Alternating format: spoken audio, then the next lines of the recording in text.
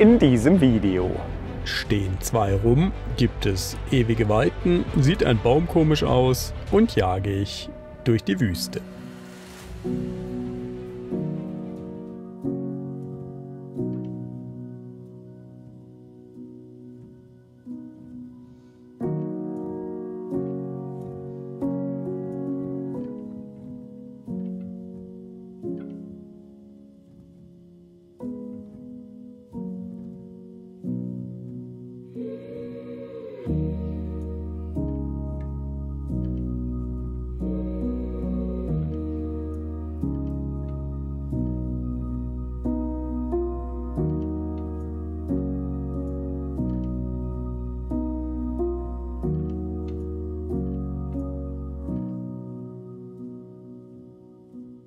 Tja, schönen guten Morgen. Ihr seht Daten fließen. Servus, hier ist Kai von Travel Camping Living aus Marokko, tief in der Wüste. Würste? Wüste. Draußen herrscht ziemlich Ruhe. Mara guckt etwas skeptisch. Zwei sind auf Fährtensuche, suchen einen Weg hier raus. Mona macht ähnliche Dinge wie ich, nur woanders. Es ist 10.30 Uhr und ich schätze, irgendwann fahren wir ab. Der Spähtrupp kommt zurück. Jetzt so weinte. Erkundungstour. Und? Ja, Wir kommen 200 Meter weiter. Ole! Hast du da gehabt in der Hose? ja. Ja, ist schon ein bisschen tricky so stellenweise, aber es müsste, also es geht. Also wir haben jetzt glaube ich eine gute ja, Spur gefunden, wo wir fahren können. Okay. Nicht so allzu viel. Naja, das lässt ja hoffen, ne? Der Co-Pilot drückt mal alle Tatzen. Ja, die Nervosität steigt. Wir sind eigentlich abfahrbereit. Bin gerade noch immer am Datensichern, lieg aber in den letzten Zügen und jetzt hauen wir dann gleich ab. Bis zum Flussbett gibt es jetzt aber noch mal einen Kampf. Das habe ich aus der Drohnenperspektive gesehen. Die anderen sind erlaufen. Das wird nicht einfach.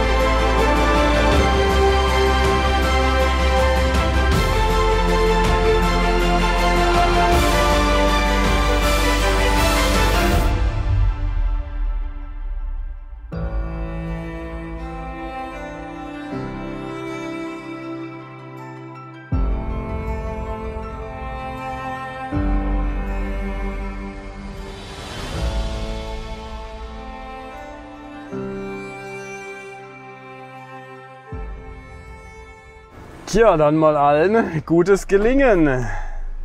Wenn wir die verdammte Technik ausstellen, ESP aus und später erster Gang. Und jetzt gucken wir mal, was so geht an diesem Tag. So, wir spielen wieder Kanonenfutter heute und scouten den Weg und hoffen, dass wir ihn finden irgendwie. Keine Ahnung, Leute. Wir haben hier kein Kartenmaterial oder sonst irgendwas. Wir fahren hier nach Sicht und vorab ein bisschen gescoutet, aber eben auch limitiert mit Drohne und allem. Wir müssen jetzt davor irgendwie Richtung Bergwerk kommen und dann Richtung Berge. Wir sind jetzt von der eigentlichen Routenführung ab, auf der wir schon länger nicht mehr sind und fahren jetzt anders. Unsere eigene, bis wir auf eine andere Route stoßen von Pistenkuh und uns dann jetzt durchschlagen Richtung Asphalt wieder.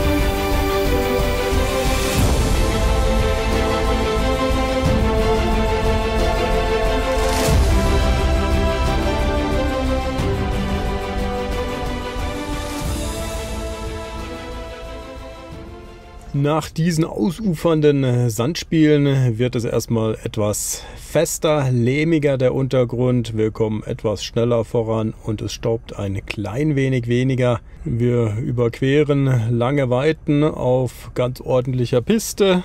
Die Sonne scheint, es ist alles gut, bis der nächste Sandkasten kommt. Hier muss ich erstmal ein paar Spurrillen queren, um mich einzufädeln sozusagen und dann weiterzufahren und der Staub beginnt von neuem. Wir sehen hier Tino mit seinem Ford Transit 6 Meter 4x4 mit Höherlegung und Sperren, wie er sich durch den Sand quält und fährt. Der Ford in dieser Ausstattung dem Sprinter in keinster Weise unterlegen oder hinterher. Wir sind hier auf ähnlichem Niveau unterwegs. Klar, sind zwei komplett unterschiedliche Basisfahrzeuge, aber dennoch kommen wir im Gelände alle gleich gut und schnell zurecht und voran. So, jetzt äh, müssen wir hier irgendwie weiterfahren. Wie genau, ist auch ein bisschen unklar. Aber es ist krass. Fahren mal ein bisschen versetzt hier, lassen alles unter uns und hoffen, dass wir nicht umkippen. Aber das geht ganz gut. Der Untergrund irgendwo wird er hart. Das Ganze ist irgendwie Flugsand oder whatever. Ah. Jetzt wird es ein bisschen schräg. Aber ja, eigentlich, ich sag ja, der, der Sprinter pflügt sich da schon immer irgendwie durch. Das ist nicht die Welt. Ich halt ein bisschen fahren können und Glück haben. Wir haben die nächste schwierige Passage gerade gemeistert. Der Sprinter, 7 Meter, ist ein bisschen anders gefahren. Ich weiß nicht, ob sie stecken oder nur einen Weg suchen. Ich hatte ihnen gesagt, sie sollen lieber rechts am Erdwall vorbeifahren, weil wir links gefahren sind und das war auch nicht ohne tief ausgefahren, stark sandig. Wir sind also rechts dran und ich stehe gerade jetzt hier links. Also Problem ist, der Hauptweg ist sehr ausgefahren und ein paar Meter bergauf. Jetzt versucht das mal hier auf Nebenstrecke, da sind auch schon Spuren. Das dürfte fest sein, ist hart gefahrener Lehmboden. Das geht gut, da kommt er zumindest hier auf die kleine Anhöhe. Und dann sollen wir weiter gucken.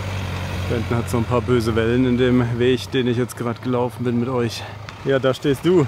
Nein, ich wollte, dass er da durchfährt. Nein, lass ihn hier lang fahren. Das. Das geht gut. Und jetzt wird er den Weg finden. Gibt hier übrigens auch die ein oder andere Fliege. Wieder vereint, würde ich sagen.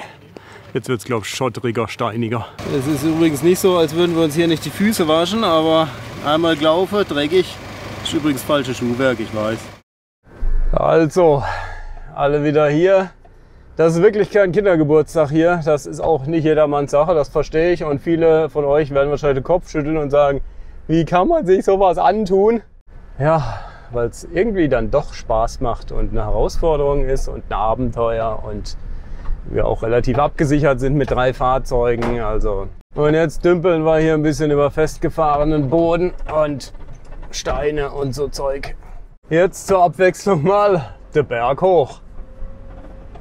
Ford voraus, fährt er locker hoch, bisschen schneller, weil er im ersten Gang und manuell fährt. Wir fahren auch hoch. Ey, da schart nix, gar nichts. Der fährt da einfach hoch, als wäre da kein Berg. Das glaubst du nicht. Ehrlich, unfassbar geil. Und das Schöne in Marokko ist, wenn einem der Weg nicht mehr gefällt, dann biegt man halt mal ab und fährt auf etwas unterentwickelten Pisten weiter. Jo, kann man machen, ne? Ist auch lustig. Da sind wir wieder vereint, alle beieinander, alle haben es geschafft. Jetzt ist die Frage, in die Richtung weiter wahrscheinlich. Kurze Besprechung, weiter. Wir hoppeln hier jetzt über Lehm. Sand ist erstmal Geschichte. Vermisse es schon. Ich bin jetzt 4215 Kilometer mit dem Auto gefahren. Möbelbau ist ruhig. Das Einzige, was quietscht, ist die Schiebetür. Die fällt oben links immer gescheit ins Schloss. Das hört ihr wahrscheinlich auch immer mal im Ton. Aber der Rest vom Möbelbau macht keinen Ton. Nichts. Absolute Ruhe. Das hat schon Hand und Fuß bei Rödencamp. Und wir sind ja jetzt doch schon einige Kilometer Offroad und Piste gefahren und üble Strecken. Also das Auto hat schon ein bisschen was erlebt. Aber eben Ruhe. Ganz nebenbei erwähnt, wir haben ja praktisch permanent Internet. 3G, Vollausschlag oder zwei Balken zumindest. Das reicht zum Telefonieren per WhatsApp. oder WhatsApp-Messages zu schicken oder mal ein Bild machen und verschicken. Also echt geil in Marokko.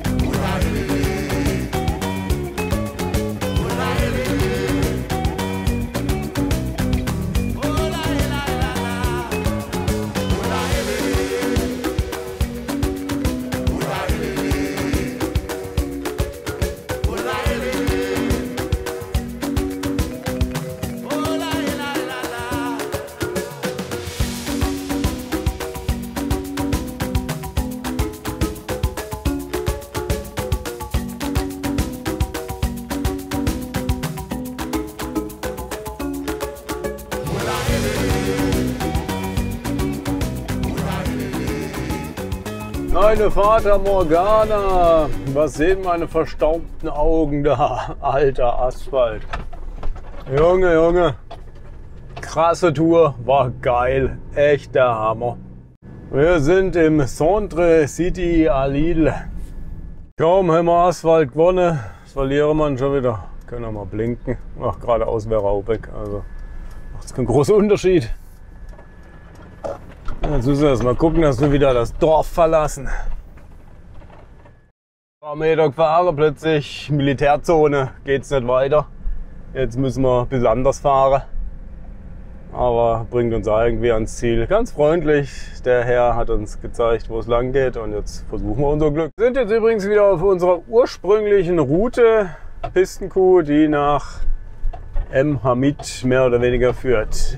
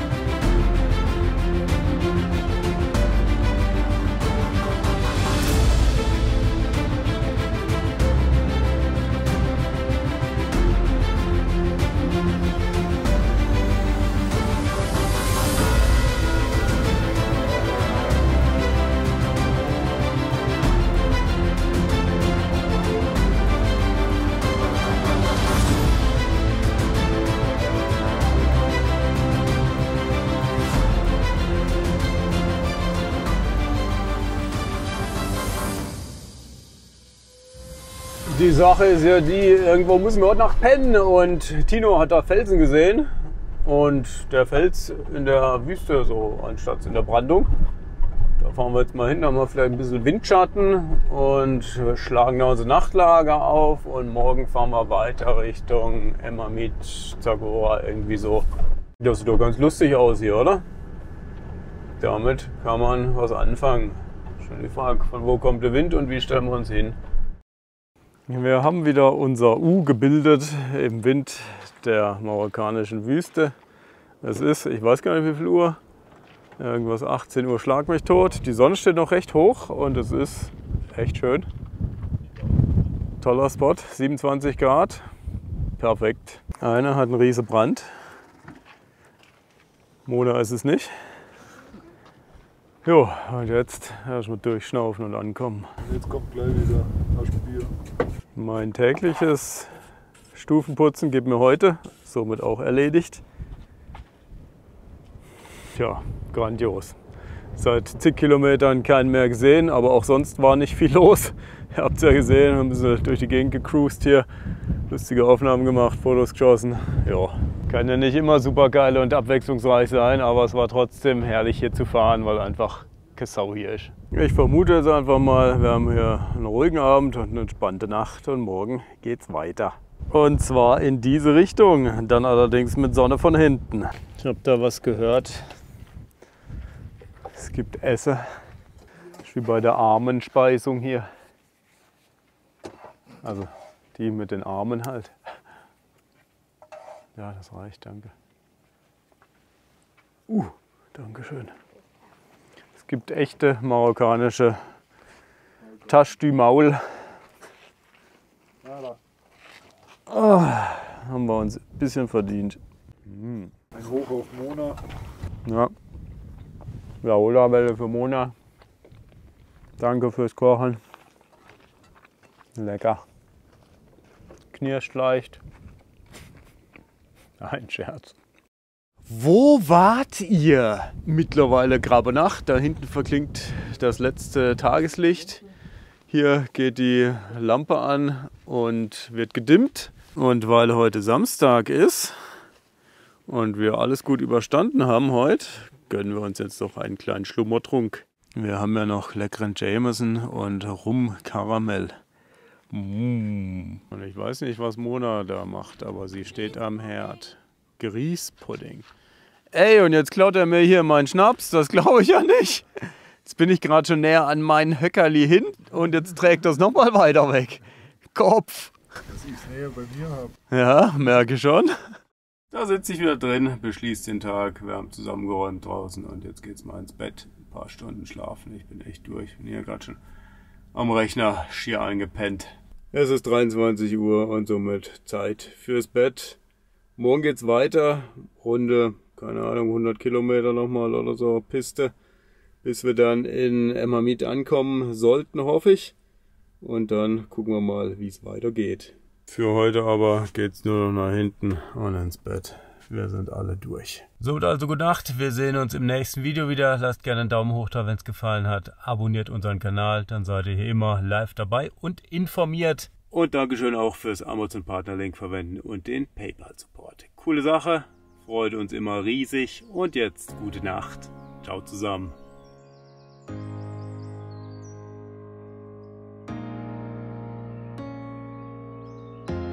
Oh, what I would do for just a moment with you.